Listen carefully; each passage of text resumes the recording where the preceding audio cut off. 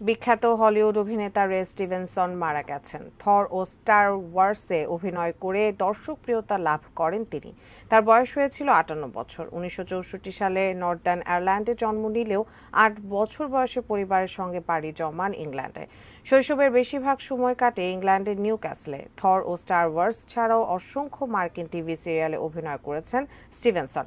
এগুলোর মধ্যে আছে band of gold peak practice O Murphy's ল বিসিবির কাছে রে স্টিভেনসনের মৃত্যুর খবর জানায় তার পাবলিসিটি ফার্ম ভিউ পয়েন্ট মৃত্যুর কারণ বা এ বিষয়ে বিস্তারিত আর কোনো কিছু জানানো হয়নি, তবে তবে জানা যায়, ইতালির ইচিয়া দ্বীপে একটি ছবির শুটিংয়ের সময় অসুস্থ হয়ে পড়লে হাসপাতালে ভর্তি করা হয় তাকে।